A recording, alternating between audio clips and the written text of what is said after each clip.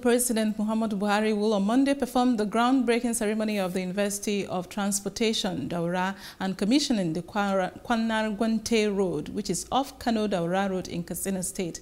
Malam Garba Shehu, the Senior Special Assistant to the President of Media and Publicity, confirmed this development in a statement in Abuja on Friday. He stated that the President had arrived in Daura, Katsina State after attending the fifth summit of the Gas Exporting Countries Forum in Malabo, Equatorial Guinea.